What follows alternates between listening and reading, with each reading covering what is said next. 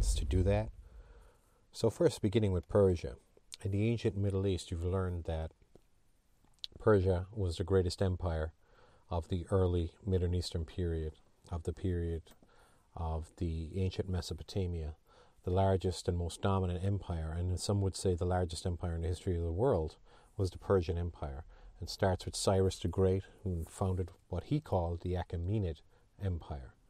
And Tom Holland, in his book Persian Fire, talks a lot about the founding of the Persian Empire. He talks about how the Persian Empire swept over the civilizations of Mesopotamia.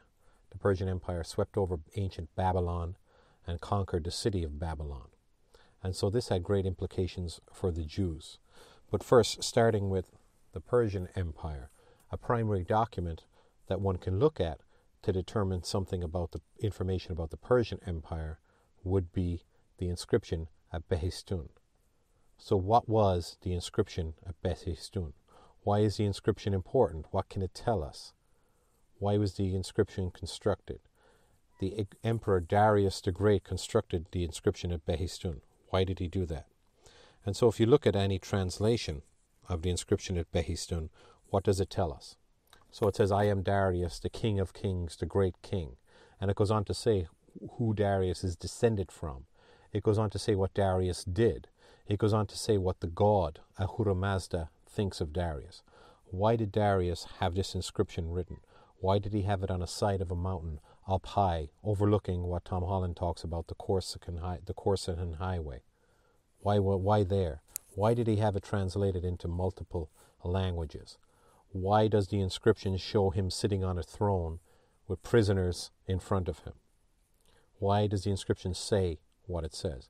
Well, at this point, you've probably realized why. Because in the ancient Near East, a king, a leader, wanted to impress upon others his power, wanted to impress upon others his achievements, wanted to impress upon others why he ruled and others didn't, why he was fit for rule, why he had the heritage and the background to rule. The inscription at Behistun tells us all of this. This is why it's an important primary document.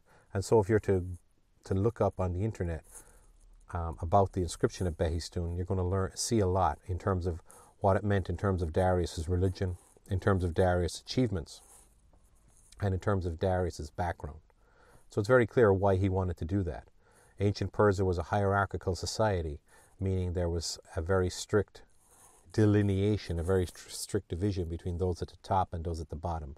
And no one was at the top or higher than the emperor.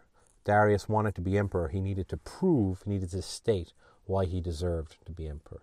That's the story of the inscription at Behistun.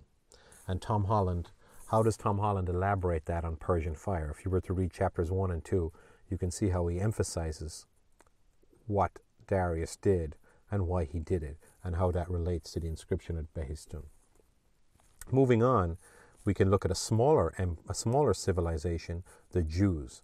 Whereas the Persians go down in history as having one of the largest civilizations in the Near East, the Jews have a much smaller, a much smaller state, two states in fact, Israel and Judah. And so what is what does Psalm 137 tell us about the Jews? Well, Psalm 137, which Tom Holland uses and refers to in chapter 2 of Persian Fire, Psalm 137 tells the story of the exile of the Jews in Babylon. And there are even, this has even become a famous pop song by the Rivers of Babylon. If you were to search on YouTube for a song, The Rivers of Babylon, it's, uh, you see many pop songs and pop singers singing The Rivers of Babylon, but using the same words as Psalm 137 in the book of Psalms in the Old Testament. So it's in the Jewish religious tradition, Psalm 137 tells the story of the exiles in Babylon. So reading that, reading Psalm 137, what does it tell us about ancient Judea? What does it tell us about the Jews? What does it tell us about Babylon? Well, what it tells us is the Jews, when Babylon conquered Jerusalem, Nebuchadnezzar sent the Jews into exile. And if you're to watch a documentary such as Engineering an Empire, the Persians, Engineering an Empire the Persian talks about Cyrus the Great, who was the leader of Persia, who conquered Babylon. And what did Cyrus do when he conquered Babylon? He freed the Jews and sent them back to Jerusalem. He rebuilt the temple in Jerusalem. So, Psalm 137 is a very powerful psalm. It tells a great story, an epic story of a people in exile, a people pining to go back, a people vowing they will go back, a people vowing they will keep their faith even though they're exiled. So why so you should look at Psalm 137 to learn more about the Jews in exile in Babylon.